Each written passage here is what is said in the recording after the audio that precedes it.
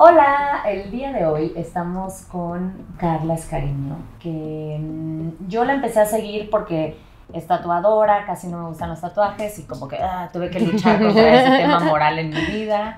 Eh, pero después me empecé a dar cuenta que tiene como muchas cosas muy interesantes que decir.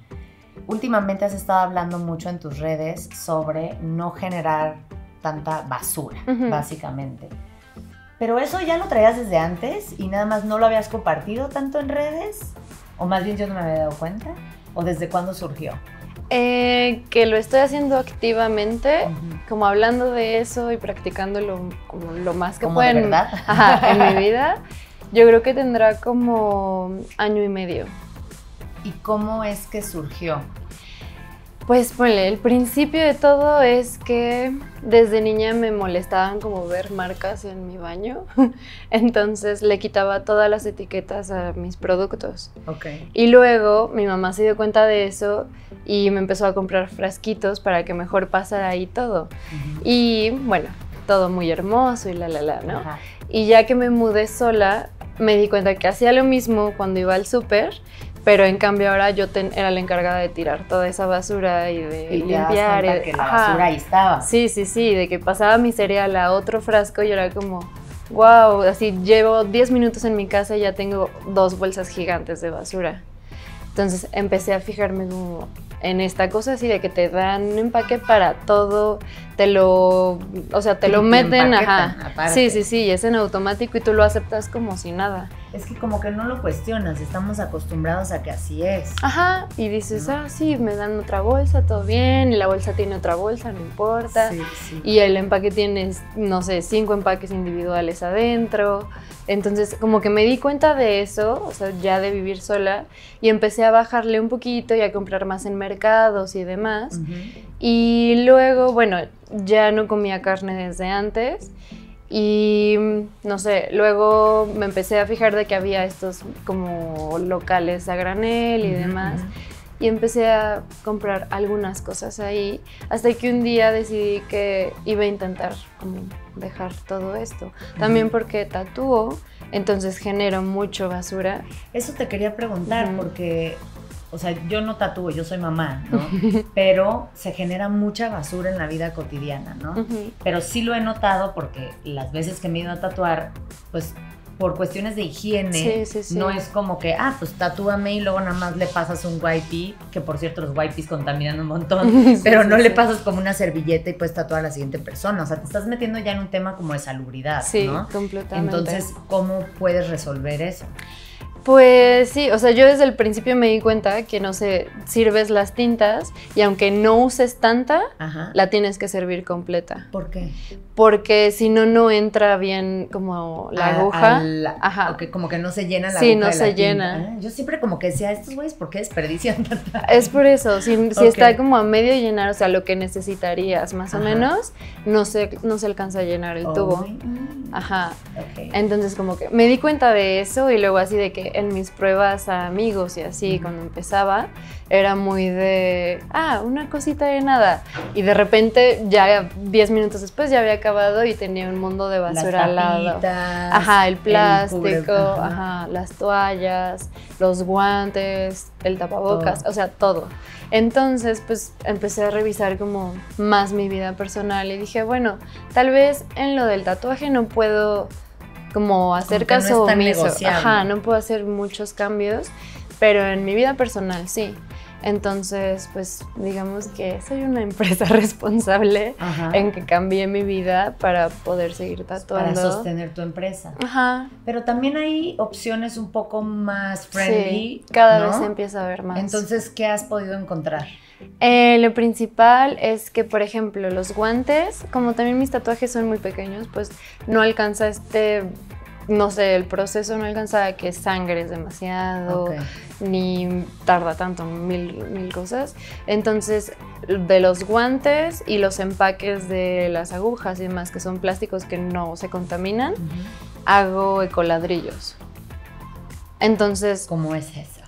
Pues los ecoladrillos son una botella de dos litros de refresco, dos y medio máximo, eh, la llenas de todos estos plásticos que no se pueden reciclar o que son muy difíciles, como el látex es muy difícil que se recicle y sobre todo si es como de médico y demás. es muy difícil. Sí, porque no quieren que esas cosas sean biodegradables. O sea, no lo digo en mala onda, lo digo porque si entra en contacto con fluido, no puede desintegrarse. Sí, tan fácil. Ajá, tan fácil. Entonces, sí, todas estas cosas como celofán o diurex o demás, lo metes todo en una. Sí, empaques en general, ¿no? Lo metes en una botella hasta que quede súper bien comprimido, te puedas parar encima de ella y luego lo donas junto con 40 pesos y de esas botellas se hacen bardas, macetas, bancas. Eso está padrísimo saberlo. Entonces como que no solo es como separas tu basura correctamente, sino pues hay cosas que no se pueden reciclar. Sí. Y ahí las pones. Y, y ya, eso es lo que Pero también he visto que has hecho otros cambios en tu vida, o sea, yo por seguir tus redes sociales, sigan sus redes sociales, como por ejemplo que el otro día tuviste una fiesta, ¿no? Ah, y entonces fue que cada quien trajera su vaso, porque a mí esa parte me da bajón. Yo voy a muchas fiestas infantiles, obviamente, entonces siempre está este rollo de las mamás como de, es que si vas a invitar a 50 niños, obviamente no vas a comprar 50 platos de vidrio y estarlos lavando. Entiendo ese punto, porque es una flojera, pero me parece o sea, lo, me parece una locura que entonces compraste un chorro de desechables y un chorro de vasos también. Sí, sí, sí. Y los niños que además le toman un trago a su horchata y, después ya no se acuerdan ni cuál es su vaso. Y la gente es muy así incluso con las, con las botellas de plástico, de agua, ¿no? O sea, pasa muy seguido y lo veo y como que sobre todo en llamados y grabaciones. Sí, sí, sí, toman tantito, y, lo dejan. y como ya no saben que es su, botella, es hasta peor, porque entonces agarran otra, ¿no? Entonces me llamó mucho la atención esto como de, que, o sea, les dijiste a tus cuates, como que, oigan, va a haber esta fiesta, eh, tráiganse sus vasos. Pues sí, o sea, un amigo vino de visita y es como de mis mejores amigos, entonces le dije, bueno, te voy a hacer una despedida pero pues si va a ser en mi casa, va a ser, va ser, va a ser con mis reglas. Entonces lo que les escribí fue, yo les voy a conseguir todo, botana, cerveza, si toman mezcal, les consigo mezcal. Lo único que tienen que hacer ustedes es pues básicamente cooperar con el dinero y traer un vaso nada más. Si fuman, yo les compro tabaco. Lo Pero tabaco de hacer. Sí, de liar. A ese tema vamos a volver en el segundo. Y con colillas de cartón y todo, ¿no? Y entonces, pues sí, al principio decía, obviamente va a haber gente muy renuente porque los precios sí son un poquito distantes. Ajá. Es, desgraciadamente es más caro ser responsable. Sí, pero cuando ya lo notas bien, por ejemplo, compramos cerveza de barril que es, tenía 8 grados de alcohol eh, que eso es como el doble que tiene una cerveza normal. ¿Necesitaban la mitad o se pusieron más hasta el soquete? Las dos cosas, ajá. Y costaba, o sea, esa cerveza en específico, si tú la compras en el súper, te cuesta 35 pesos y en barril costaba 17. Entonces, si luego haces la cuenta... Te viene bien. Te viene bien, o sea, es como si tomaras en una cerveza dos cervezas que te sale, te termina saliendo en 8 pesos ponerte borracho. Muy bien. Y el tema de los cigarros, porque yo viviendo en la playa siempre tengo ese temazo, aunque también viviendo en la ciudad, ¿no? Sí. Los amigos los veo fumar. Creo que la decisión de fumar es algo muy personal y no me voy a meter en eso porque pues la gente, cada quien nos destruimos como queremos, la verdad, ¿no? Cada quien tenemos nuestros vicios.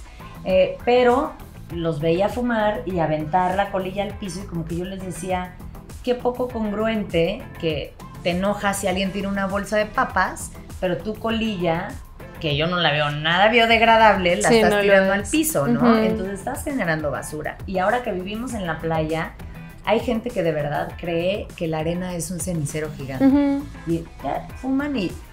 ¡Ah! ¿No? Entonces, este cambio, como hacerte tu propio cigarro, le veo muchos beneficios, honestamente. O sea, la primera es que es un tabaco que tiende a ser mucho más limpio, no te estás fumando todo, ¿no? También estás apoyando empresas normalmente que son más pequeñas, que está muy padre, no como estos monstruos. Sí, sí, sí. Y la otra es que te compras tu cartoncito o agarras cartoncito de las mil cosas que ya te sobraron y entonces ahí tienes tu filtro. Y haces tu filtro. Y la otra es que desarrollas tus habilidades por si un día quieres ser sushi más. sí, la neta sí. O sea, como que, y fumas mucho menos, porque te lo tienes que hacer y porque es un tabaco que se apaga cada rato, entonces lo tienes que estar prendiendo. Entonces al final te fumaste dos cigarros en vez de una cajetilla y entonces no contaminaste. Ese fue mi paréntesis, esa fue mi aportación a esta vida como más eh, clean. Eh, pero ¿qué cambios? O sea, porque mucha gente tenemos ganas de hacer cambios.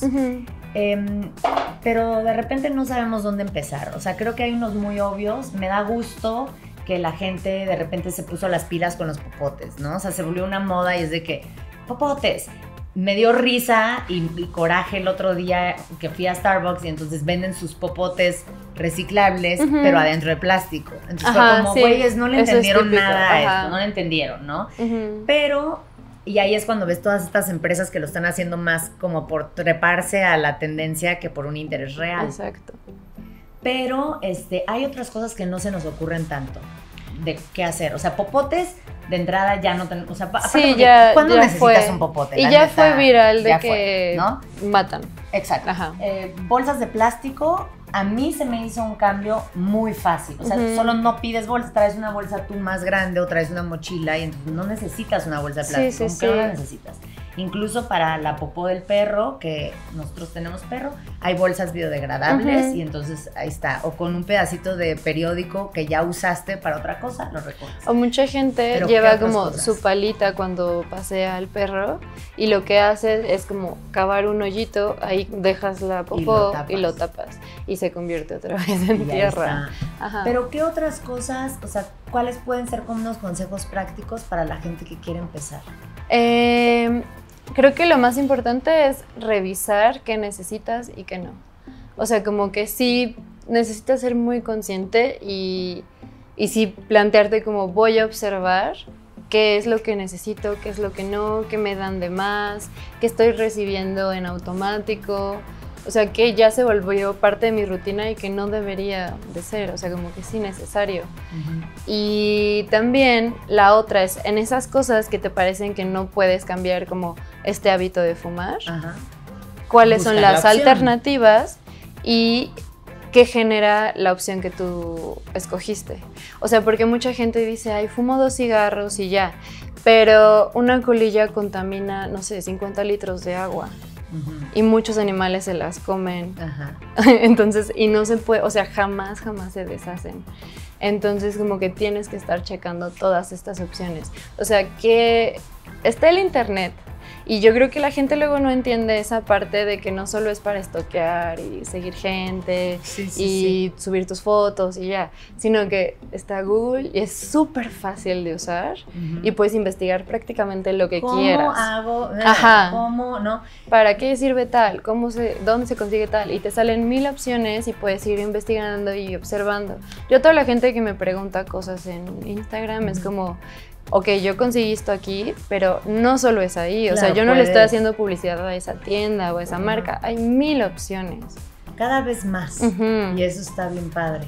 Pero yo creo que la gente, eh, me acuerdo que vi hace poco en tus redes y también de otras personas que sigo, que como que no necesitamos un ecologista perfecto, necesitamos muchos imperfectos. Sí, sí, sí. Y me gusta mucho este concepto, porque la gente como que tiene esta idea de, no, es que no me voy a poder entregar al 100%, entonces mejor no lo hago, porque pues me, no lo voy a hacer a medias. Sí, como que esto que... Eh, pues, pues sí, ¿no?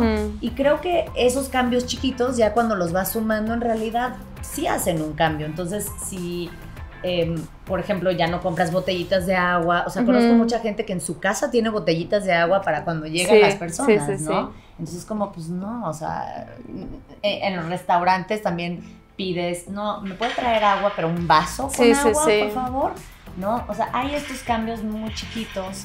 En el mundo de la cosmética, en el mundo que yo chambeo, es muy difícil porque es muy consumista. O sea, es muy este, ahora necesitas la crema, no sé qué. Sí, es como más aspiracional. Es, es, muy complicado.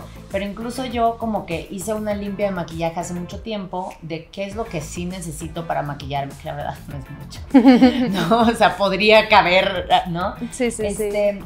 ¿Y qué haces después con las demás cosas también? O sea, no nada más las tiras, sino que se las das a una fundación o, ¿no? O sea, como que buscas la manera, o, incluso a tus amigas, para que ellas no estén comprando tus labiales, o haces una paletita de maquillaje en donde va la mitad del lipstick y entonces la otra mitad del lipstick la tienes, te acabas los productos, o sea, yo tengo un compromiso, por ejemplo, que me acabo los productos. Y puede sonar algo como muy tonto, pero no lo es, porque si vas juntando ah, ya me llegó una crema nueva la vas abandonando y otra y otra y otra, terminas consumiendo un montón y ya la abriste, entonces tampoco ya no se la puedes dar a alguien más. Sí, no es mejor tan sencillo. Como le raspas, ya se acabó, ya no queda una gota de esto. Y luego ya puedes ir a entregar el envase porque ahora hay programas de reciclado y puedes elegir marcas que tienen como más buena onda. Sí, sí, sí, que son muy amigables hasta en sus empaques y demás. Sí, como que yo creo que todo se trata de que sí cheques toda tu vida. O sea, sí ser más consciente. Ajá, sí, observa mucho como, pues sí, lo que consumes, lo que necesitas, lo que no, de dónde viene, para qué, o sea, como todo. Yo creo que no está mal como esta cosa de me quiero ver bien y quiero estar en tendencia y pues sí, de que te quieras comprar algo nuevo, pero también hay que ser como muy despierto en decir, lo estoy haciendo por esto. Exacto. Y no está mal ser banales a veces, pero tienes, o sea, hay que aceptar que, lo que estás haciendo. Incluso con la ropa, que esa es otra, otra, esa es otra, ¿no? Em, están todas estas marcas como de fast fashion, ¿no? Algunas se han acercado conmigo como para hacer campañas y como que me crea este conflicto porque tienen como la ropa cool en tendencia. Sí, sí, sí, dices, me encanta. Me encanta, pero al mismo tiempo sé que me va a durar dos lavadas y eso es una forma de desperdicio. Sí, sí, sí. Entonces, yo prefiero comprar como ropa más artesanal, que sé que está apoyando a Juanita que vive en Oaxaca, ¿no? Que está mandando a comprando útiles para sus hijos. Entonces, esta ropa más artesanal que no está producida masivamente y que tiene mejor calidad y entonces sé que esos pantalones los voy a tener por muchos años, como que lo justifico de esa manera, sí, ¿no? Sí, totalmente. Sí, porque obviamente yo también era como esta gente que ay, quiero algo nuevo, se me antoja usar esto. Pues iba a la tienda y me compraba como lo que estaba en tendencia en estas tiendas de fast fashion. Pero pues no, ahora ya no solo es esta cosa de que duran súper poquito, sino los procesos en los que los hacen son súper injustos para el medio ambiente y para la gente que trabaja para ellos. Y también para los diseñadores. Yo estudié diseño de moda y conozco mucha gente que estudia, o sea, que ha trabajado en ese medio y les roban los diseños. Claro. Entonces. La conclusión es la misma que en todas las conclusiones de la vida. En las relaciones, en ser o no ser mamá, en el tipo de ejercicio que haces, en lo que comes. Y ahora en este tema en particular, que es vivir una vida tal vez no zero waste, bueno, tú sí tienes la intención que sea por ahí, ¿no? Ajá, más o menos. Este, pero less waste, Ajá, o sea, lo menos más que, se pueda. Exacto, desperdiciar lo menos posible. La conclusión es sé más consciente. Ajá. Pon más atención a lo que está pasando en tu vida, en tu cuerpo, en tu cocina, en, en, todo lo que te rodea. Como que no vivas la vida tan en automático. Sí. Porque cuando las cosas son en automático, como que no jalan tanto. No, y aparte disfrutas menos, o sea, puedes llegar tal vez más rápido a un lugar en coche o en Uber, pero no vas a disfrutar el camino, entonces podrías irte caminando y ya. Y así en la vida. Ajá, para todo. Lento pero seguro. Lenta pero lenta pero Ajá, despierta. disfruta. Exacto. Ah, me gusta, me gusta como un closing statement. Pues gracias, Carla, por, compartirnos esto. Síganla en redes sociales porque está subiendo mucho de ese tipo de contenido y hay muchos tips que yo digo, no se me había ocurrido decirle a todos que trajeran su vaso. Planazo. Y aparte cuando tú lo haces, no tienes que predicarle a los demás, pero como que a la gente le llama la atención. Sí. Y entonces ahí es donde se va generando como esa transformación. Y en serio era, una fiesta así, estaba llena mi casa. Y fue así de basura. Ajá, y fue un recogedor lo que hubo de basura. Yo lo vi con mis propios ojos. O sea, es impresionante y fue facilísimo de limpiar, fue más barato al final que si hubiéramos comprado cada quien lo y suyo. Y se pusieron más pedos. Ajá, también. Estuvo bien, estuvo súper bien. Ganamos todos. Ganamos todos. Gracias, Carla, y gracias a ustedes por ver nuestro video. Adiós.